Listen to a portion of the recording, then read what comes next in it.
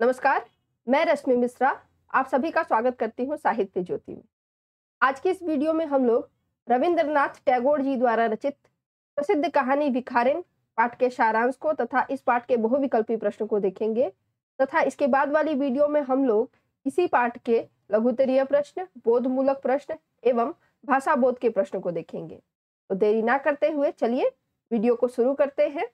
आइए पाठ के सारांश को देखते हैं। तो रविंद्रनाथ टैगोर जी की जो रचनाएँ होती हैं, उनमें हमें मुख्य रूप से मानवीय मूल्यों और जीवन के प्रति आदर्श का बहुत ही भावात्मक चित्रण देखने को मिलता है। उनकी रचनाओं में हमें निम्न, दलित एवं पीड़ित तथा गरीब वर्गों के लोगों की जो वेदना है, उसका, उसको स्पष्ट रूप से हम देख सकते हैं, उसको उन्होंने वाणी प्रदान की है। हमारी आज की जो कहानी है भिखारिन।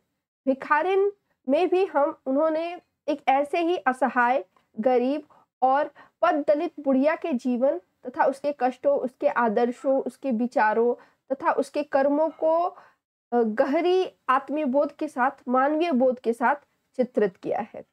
तो कहानी देखते हैं। कहानी में मुख्य पात्र जो है वो एक भिखारिन है और वह भिखारिन जो है वो अंधी है। वह प्रतिदिन जो है मंदिर के पास खड़ी होकर भीख मांगती है इसके बाद जब वो वापस झोपड़ी में लौटती है, अपने घर जब वापस आती है तो उसे और भी कुछ भिक्षा प्राप्त हो जाती है।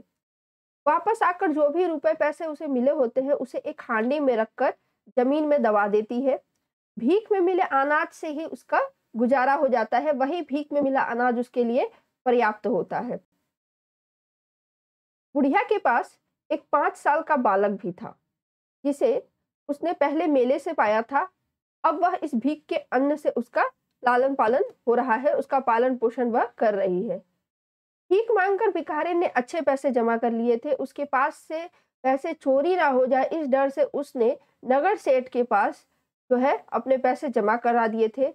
सेठ लोगों के पैसे अपने पास सुरक्षित रखता था, इसीलिए सभी अपने पैसे जो है उसी सेठ के पास जमा किया करते थे। कुछ समय के बाद होता क्या है कि बुढ़िया का जो लड़का होता है, वो बीमार पड़ता है और बुढ़िया जो है अपने बेटे के इलाज के लिए पैसे की जब उसे ज़रूरत पड़ती है तो वो दौड़ी दौड़ी सेठ के पास जाती है अपने जमे जमा पैसा वापस लेने के लिए लेकिन सेठ उसकी बात को स्वीकार ही नहीं करता है उससे मुकर जाता है और आ, कहता है कि मैंने आपके पैसे नहीं लिए हैं आपने कोई पैसा जमा नहीं किया है इस पर आ, जो है वो लोग फिर आ, पहले तो बात मानते नहीं है परंतु जब वो बहुत बोलती है तो वो लोग खाता देखते हैं खाता देखने के बाद भी वो उसे नहीं कहते हैं और फिर उसे भगा देखते हैं।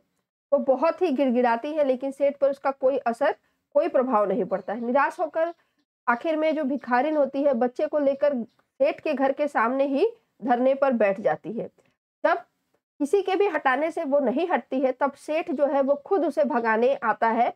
लेकिन बच्चे के शरीर पर एक निशान देखकर वो समझ जाता है कि ये उसकी बचपन का खोया हुआ बच्चा ही है। ठीक है, वह उसका खोया हुआ बच्चा मोहन है। और वह मोहन को बुढ़िया से छीन कर अंदर ले जाता है, डॉक्टर को बुलवाता है, उसका इलाज करवाता है। भिखारिन बच्चे के लिए रोती रहती है, तड़पती रहती है और फिर रोती तड़पती हुई वापस झोपड़ी में चली जाती है। इलाज होने की वजह से, दवा के प्रभाव से मोहन जो है वो ठीक हो जाता है। उसका बुखार जो है उतर जाता है, लेकिन आँखें खोलते ही मोहन जो है सबसे पहले अपनी माँ को पुकारता है, भिखारिन को ढूँढने की कोशिश करता है।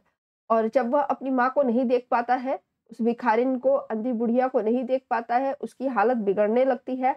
हार कर वह सेठ जी जो है आखिर में बुढ़िया के पास गए, जाते हैं और बच्चे को बचाने की फरियाद करते हैं। भिखारिन सेठ जी के हवेली गई, उसे देखते ही मोहन चंगा हो गया, यानी कि ठीक हो गया। धीरे धीरे वह ठीक होने लगता है, बिल्कुल ही स्वस्थ हो जाता है।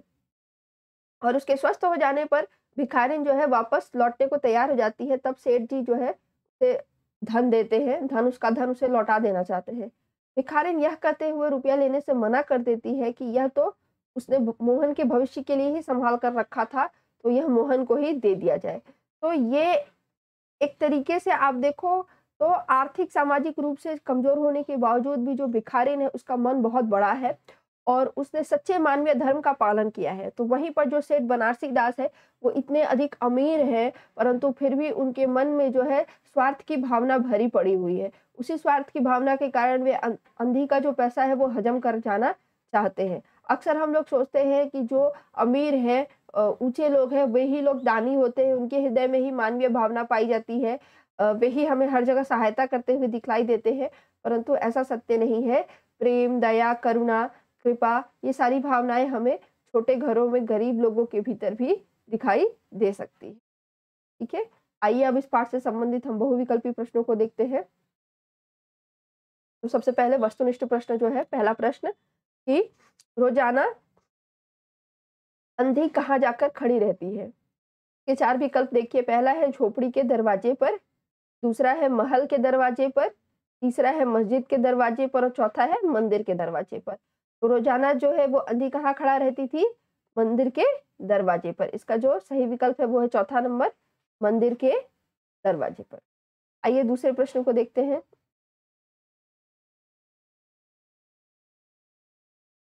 जी, झोपड़ी में उसके साथ कितने वर्ष का लड़का रहता था? तो इसका जो सही उत्तर है, जब वास्तव में उसका वर्णन किया जाता है तो वो उसका उत्तर क्या है? दस वर्ष। ठीक है? यदि आप इस पाठ्य पुस्तक के दूसरे पन्ने को पढ़ेंगे तो उसमें स्पष्ट रूप से लिखा हुआ है कि अंधी के साथ एक दस वर्ष का बालक रहता था। ठीक? तो इसका सही विकल्प है दस। ग नंबर प्रश्न देखिए। उस लड़के का क्या नाम था? यानी कि अंधी के साथ जो लड़का रहता था, उसका नाम क्या था? इसका विकल्प देखिए, पहला है सोहन, दूसरा है रोहन तीसरा है मोहन मोहन होगा मोहन लिखा हुआ है, मोहन होगा, और चौथा है भुवन। तो इसका जो सही उत्तर है वह है तीसरा मोहन, ठीक है? चौथे प्रश्न को देखते हैं घ नंबर। इस सेठ के पास जमा नगदी को कितने वर्ष बाद वह मांगने गई थी? तो आप इसका सही उत्तर समझ सकते हैं, क्या हो सकता है। देखिए, इसके विकल्प दिए गए हैं। पहला विकल्प है दो वर्ष, ठीक है? दूसरा विकल्प है तीन वर्ष, तीसरा विकल्प है चार वर्ष और चौथा विकल्प है पाँच वर्ष। तो इसका सही उत्तर बताइए, क्या हो सकता है? इसका सही उत्तर है, वो कितने वर्ष बाद मांगने गई थी? नकदी, यानी उसने जो पैसे जमा किए थे, वह पैसे वो कितने वर्ष के बाद मांगने गई थी? तो वह जो है, नकदी जो है, जो जो उसने पैसे जमा किए थे वह उसने दो वर्ष बाद, ठीक है, इसका जो सही उत्तर है, दो वर्ष। सेठ के पास जमा नकदी को कितने वर्ष बाद वह मांगने गई थी? दो वर्ष बाद, ठीक है? आइए अंगा नंबर प्रश्न देखते हैं।